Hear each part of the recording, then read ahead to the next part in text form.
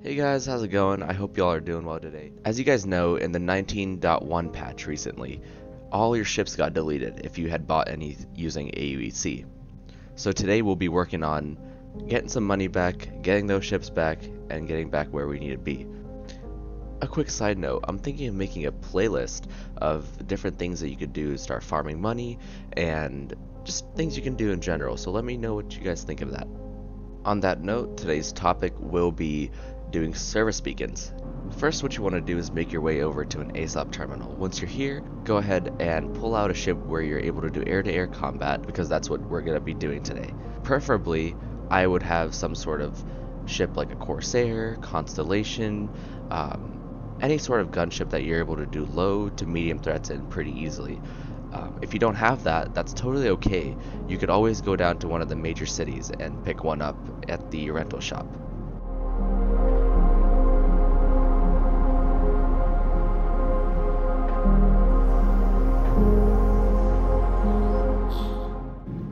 Alright, once you're out of the station, go ahead and press on your Moby mobiGlas, and then go ahead and click on Contracts, and then go down to Service Beacons. You may or may not have any here.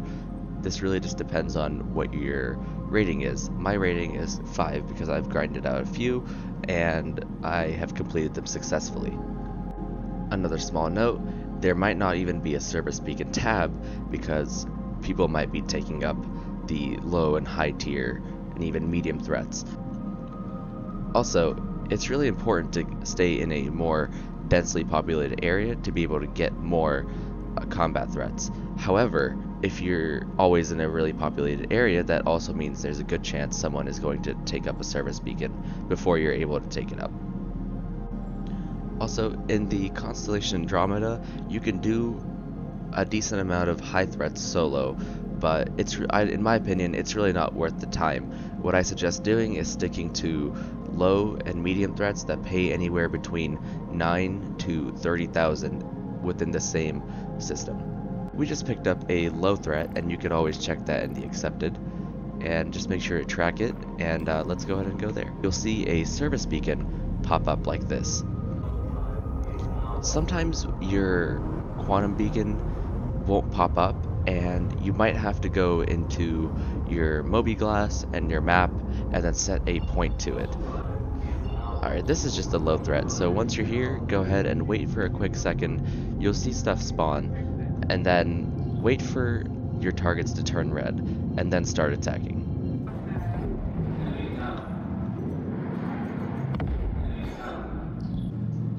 Alright, once you're complete with the contract, it'll say contract complete, and something really important that I do is always give them a good rating. I feel like that always gives you much more um, rep, and one of the nice things about this is you get your rep pretty fast, and uh, you can get going really quickly as well. Alright, I just went back to Microtech where we will be getting more missions, but I'm still having trouble getting missions and even picking them up if they show up.